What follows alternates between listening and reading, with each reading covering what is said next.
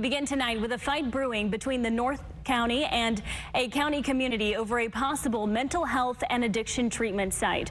Fox 5's Sarah Legray joining us live now from Vista with more on this proposal for Green Oak Ranch. Sarah. Hi, Zara. Yeah, the city of Vista, as well as a local nonprofit in the county, are all fighting for this land right here in Vista. It's going to cost around $12 million, just the land itself. It's a major purchase, and with it has come some controversy. Our funding is at risk. Nestled in the hills of Vista, you'll find Green Oak Ranch.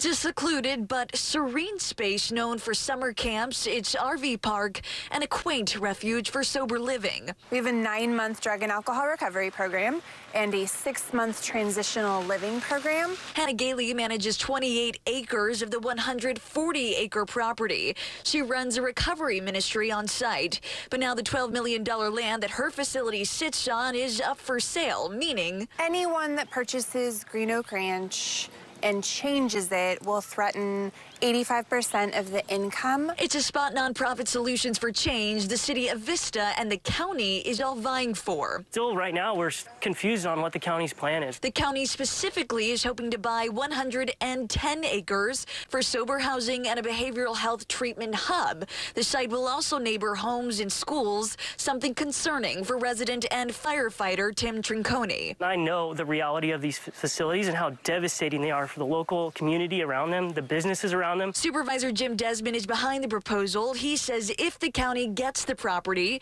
the space could host around 200 people in a variety of treatment and residential programs. He says his vision is focused on treatment and healing, not shelters, parking lots, or any housing first proposals. The site could cost the county over 300 million. We need these things desperately. We had a 969 person increase in the number of unsheltered homeless people in our county. But still, Vista Mayor John Franklin would like the city to buy the land instead of the county, touting a community-centric solution rather than a broader county approach. And to serve them in the neighborhoods that they currently are living in, where they have friends, they have family, they have networks, they have transportation and other services already there to serve them.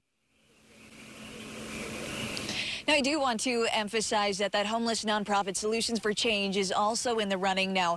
They say they were a little surprised to learn about the county's proposal and that they were told that they're one of the leading candidates when it comes to purchasing and acquiring this land. Now, as far as the city of Vista goes, tomorrow evening they are going to host a closed session meeting when it comes to potentially buying this property here as well. So those discussions will be had tomorrow and hoping to more about where they will decide to go with this purchase then. For now, that's the very latest here from Vista. Sarah Allegre, Fox 5 News.